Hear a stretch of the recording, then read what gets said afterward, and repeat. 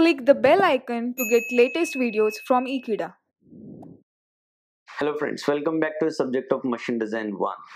We are right now learning about different aspects of reverse loading, cyclic loading and their design.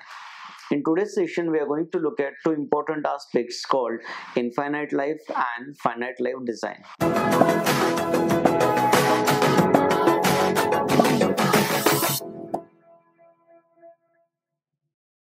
Students, in reality, the components or the mechanical components, they undergo two kind of loading.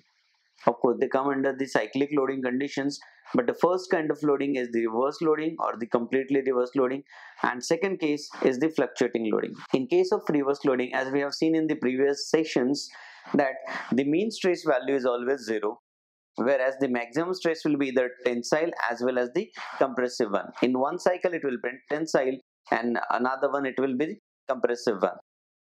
In case of fluctuating stresses, you will have the mean stress never equal to zero. Also, the maximum stress will be purely tensile or the purely compressive or they will be the combination but not the equal halves.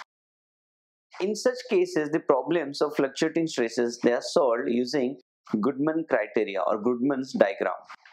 Whereas the cases in reverse stresses, they are solved using finite and infinite life problems. In today's session, we are going to look at how these problems are solved using finite and infinite life. Next sessions will be solving or will be dealing with the numericals based on them.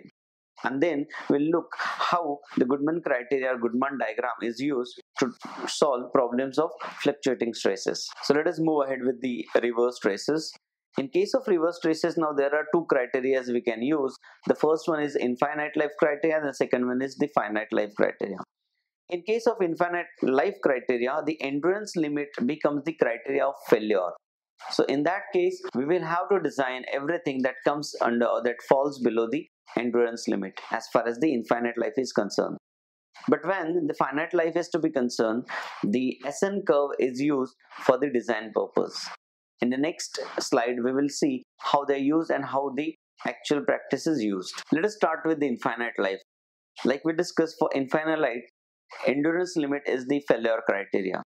So the amplitude stress that we are going to use or the maximum stress that we are going to use should be smaller than the endurance limit. That is the very basic and simple criteria and that is how it should be related so that the object or the component will withstand the infinite number of cycles. Or we will say that the product has withstand uh, the infinite number of cycles.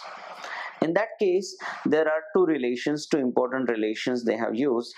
Amplitude stresses maybe in case of the bending or maybe in case of the torsion are given by the endurance limit divided by factor of safety in each of them. We can use any of the notations. It can be se or sigma c both of sigma e both of them do represent the stresses.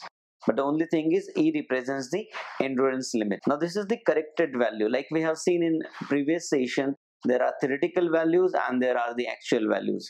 Actual values are the corrected values after considering certain factors. So these are the two important relations that we have to use wherever we have to define the infinite life.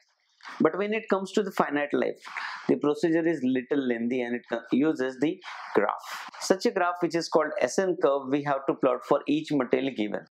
For example this curve is valid for these trace materials steel materials.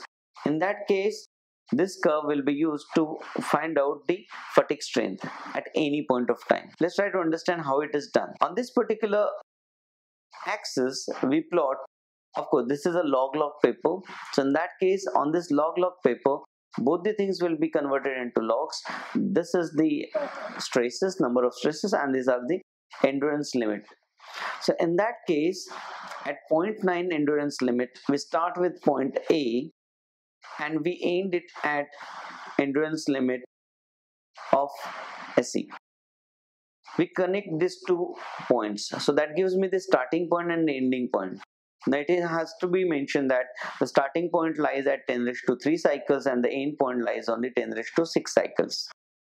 Now in between them, no matter which point we are going to consider, no matter how much cycles we are going to consider, we have to plot a line vertically upward it cuts this particular line at certain point through which we need to draw a horizontal line.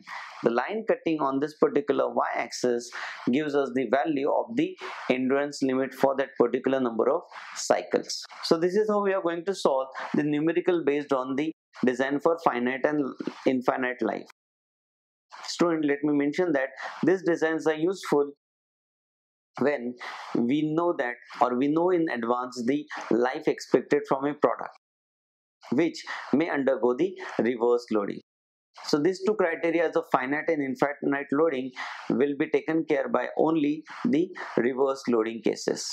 In the next session we will demonstrate how to find out these uh, cases and how to solve the numericals. Thank you so much for watching this video. If you like this video please subscribe to Ekeeda thank you